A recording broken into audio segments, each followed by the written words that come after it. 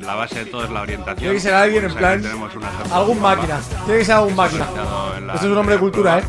Eso es un hombre de cultura. Este es un ejemplo porque el recorrido de nuestro raid es secreto hasta el día de la prueba. Y bueno, todas las secciones, los participantes van a tener que navegar con un mapa y una brújula solamente. El recorrido no estará señalizado.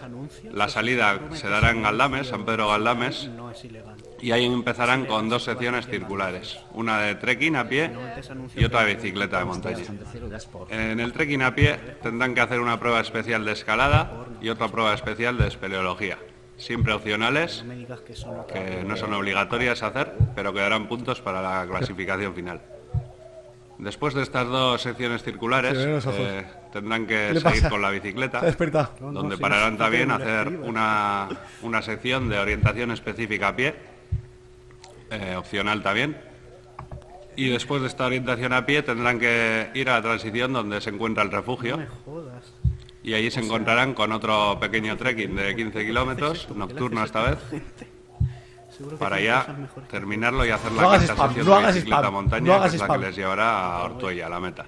No hagas Ahí no spam. acaba el raid, en meta No tendrán spam. también una serie de pruebas especiales de Ricky Si ti, y de orientación de memoria. Está diseñada para que lo- el recorrido se pueda cortar, entonces cada equipo puede What? decidir qué secciones hacer, qué secciones no hacer. También habrá, ya que esta carrera continúa por la noche, también habrá un refugio donde los participantes puedan descansar, puedan dormir, puedan cenar. eh, una prueba de Están yendo 24 todos, horas tío. Se están en yendo todos a los que quiero hostear. eh, Se están yendo. Se están yendo. Se están yendo. Se están yendo. Eh, epicentro de estas pruebas de RAID con su tercera edición y que tan buenos resultados está dando gracias a la inestimable labor que realizan el voluntariado eh, a través de la Sociedad Montañera Encartaciones. ¿Qué le pasa? Se ha despertado.